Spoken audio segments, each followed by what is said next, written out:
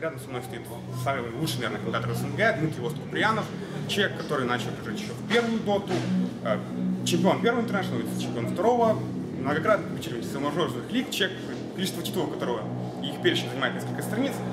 И вот он как бы комментировал 11 сезон Старвадера, сегодня последний день, и у меня есть несколько вопросов к нему. Ну, во-первых, как ты вообще докатился до жизни такой? Как ты стал комментировать после такой игровой карьеры впечатляющей? Ну, чем-то надо заниматься на пенсии, поскольку все уже, реакция, реакция уже не та, хотя, может быть, еще вернется.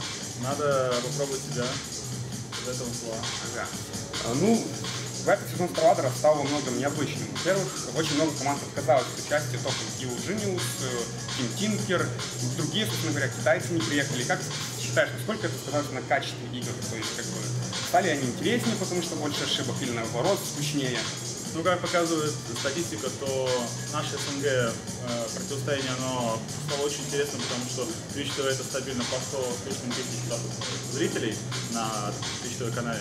А так, могу сказать то, что ну, да, сильно сильнейшие готовится у нас к азиатскому турниру, где призовой фонд уже достигает почти 2 миллионов долларов. Поэтому тут у нас дорогу молодым. А, Кстати, о азиатском турнире. В общем-то, на этом финале Hellraisers, которые прошли квалификацию, Power Rangers, которые тоже как бы заняли второе место, и Нави, которые заняли третье, вылетели одни из первых. Как ты считаешь, почему так случилось? Они расслабились, потому что если взглянуть на Empire Asus, после своего поражения они потели, старались и играли постоянно для того, чтобы выиграть Старавер. Они понимают то, что сейчас это их последняя возможность зацепиться за э, International Invite. А вот такие команды, как Hellraiser СПР, ну, у них, в принципе, во-первых, по сейвингу, но в целом так сложилось, что они ну, не так усердно тренировались, как хотелось. Потому что обычно после победы ты думаешь, ну все, я достиг своего уровня, у нас такое тоже было, и все, теперь я могу ничего не делать, там, пойти бухать, гулять. Ну, если говорить о Invader International, где-то недели три назад Эзер Лэнс в своем блоге писал, что он недоволен количеством матчей, но он должен играть, потому что они не получат Invader International. То есть сейчас игроки, да и комментаторы за последние несколько месяцев вот играли, стримили 300-400 игр. Ты считаешь, что нормально или наоборот нужно уменьшать, увеличивать, делить на лиги как-то? Я считаю, что это нормально, потому что в один момент э, наши профессиональные игроки поймут, то, что они не смогут участвовать на всех турнирах, появятся лишние слоты, и новички, которые вот молодые игроки, новые команды, которые очень долго оставались без финансирования призовых, они смогут ворваться. Потому что профессиональные команды хотят все забрать, но все забрать не получится. Нужно все равномерно развивать. Ну вот на этих финалах есть и новичок, and Pyjamas, то есть, говоря, там из опытных игроков только Эра, ну, Апермазер там играл с Андином, такое. Э, Но они все же прошли фактически в топ-3, может, как-то, как у них это вообще получилось? Эра никогда не был топовым игроком, по, сути, он ничего не побеждал так, а остальные просто Стендин, как? Ну, как, как показала практика, они играют 24 на 7. Они после Нового года сидели и потели. Они вышли на сезон, когда все команды еще были не готовы к ним. То есть выходит новичок, и когда выходит новичок из про-серии какой-то, ты не готов э, показывать свои лучшие стратегии, э, э, пускать ход козырные тузы. Там иногда, может быть, даже играть со стейнингами. Поэтому у них очень хорошо пошла онлайн-часть. Они рано начали, пока там остальные команды вообще не, ну, вообще не играли. А после этого они приехали на LAN. Вот на LAN то, что было видно, они сидят впятером, постоянно играют, постоянно общаются, постоянно смотрят реплеи, в отличие от наших команд, которые такое редко делают. И я могу сказать, что они ну, терпение труд, все перетрут. Плюс Ага. удача. Отлично. Это все дело в удаче. да? Но частично так, Немного как- так. когда ты трудишься, покладая рук, тебе, как правило, везет. Ну вот если даже говорить о тех же Стендинах, тоже Апермазер, э, вот в последнее время начался такой вот решафл большой, непонятно почему обычно в International, но перед Dota Asia Championship большинство команд поменяли свой состав, хотя это как бы середина сезона.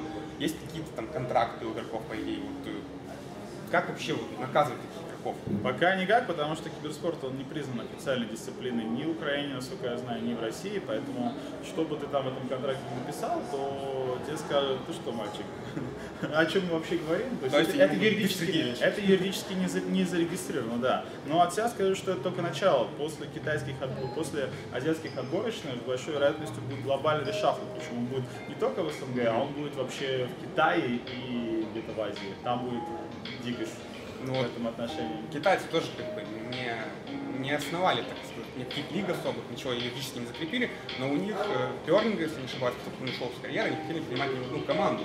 То есть все протестовали, что нельзя так, ты ушел из доты, выходи навсегда.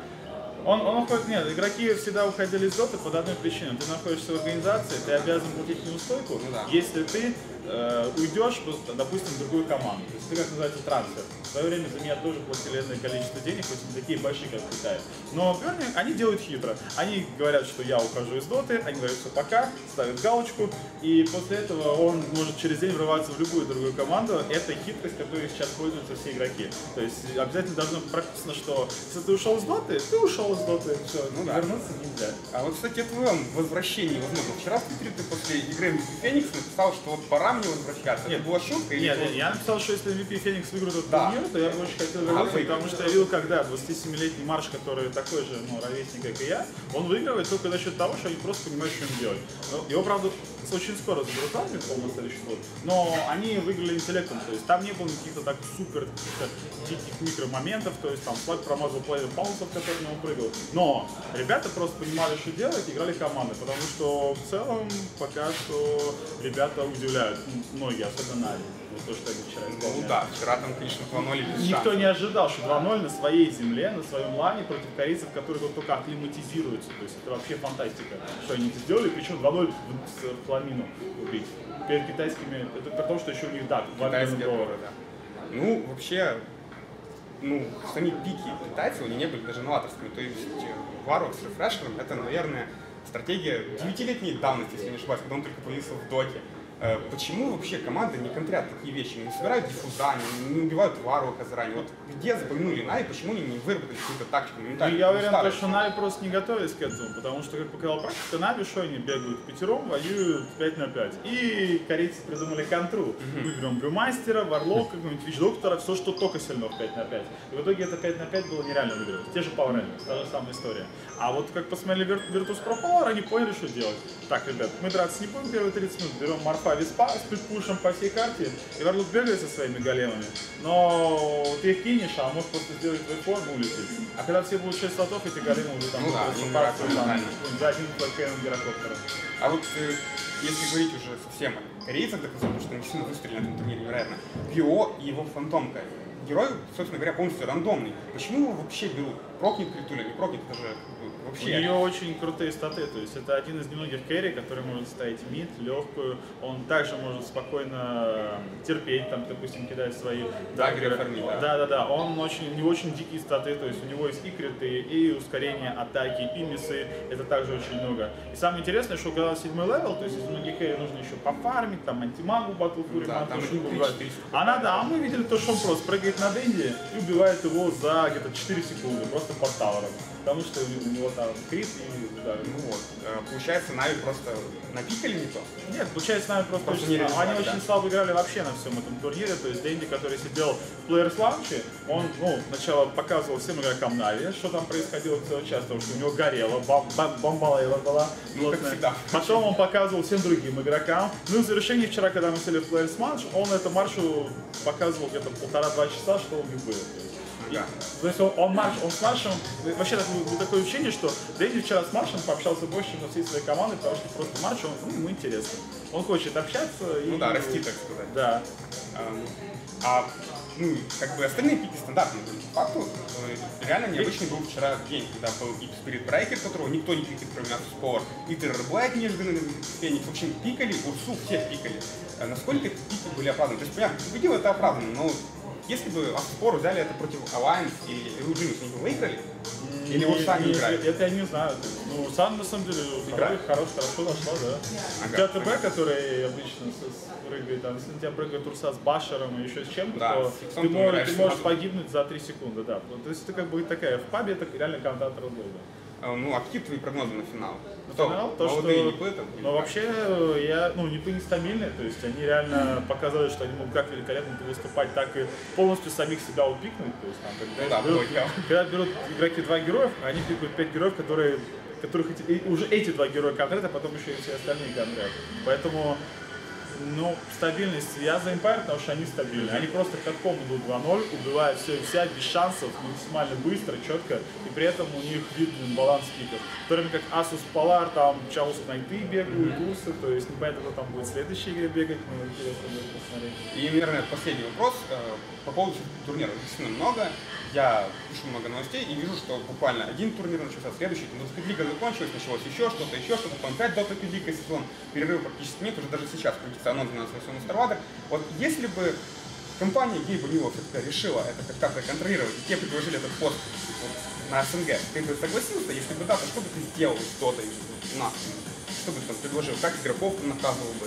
Как бы там Ну, матчи игроков, проводил? ска- скорее бы, ну, в данной ситуации тебе нужно просто сделать четкие пра- правила и регламент, что как должно происходить, потому что у нас все эти турниры порождают огромное количество переносов, ты заходишь на трансляции, никого нет, игроки не могут играть, игроки берут стейдингов, из-за чего ухудшается качество игры, то есть много минусов, а так я добавлю вот особенность, а Valve это выгодно.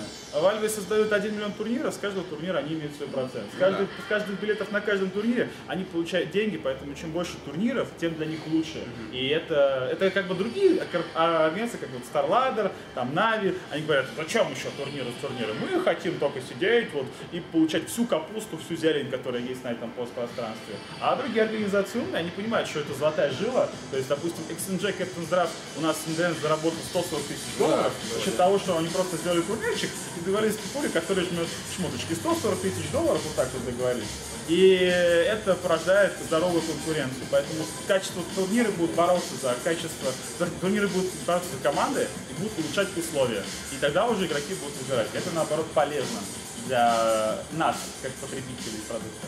Как э, стримеры. Да? И- Много нет, игр, нет, много как и для зрителей, да? потому что если бы не было этой конкуренции, наш бы призовой сталадер мог до сих пор составлять 20, 20, нет, 25 тысяч долларов, когда вот играл А, я. да. А когда уже пришли другие турнирчики, благодаря им уже призовой фонд, он вот растет не по дням, а по часам. Ну, а International выстрелит снова. Я Да, уверен. Будет 10-20 миллионов или 4 миллиона и до свидания. Но если Да. Valve опять придумает гениальный маркетинговый ход, я уверен, выстрелит, потому что, как показала практика, шмоточки сейчас захватывают мир. Пиксели. Да. Буквально пиксели. Вроде бы ничего особенного, турнир в онлайне, мод, который никто не видел. Там три шмоточки и 200, там, 50 тысяч. О, да. Вот так. Есть. Ну, спасибо за интервью. Желайте, не посадить сегодня голос комментируем, потому что надеюсь, будет красочный и будет о чем рассказать. 2-1, надеюсь, будет. Хоть раз, хотя бы раз Power Rangers не да. И тот, это была случайность. Обидно. Ну, спасибо. Да, все хорошо.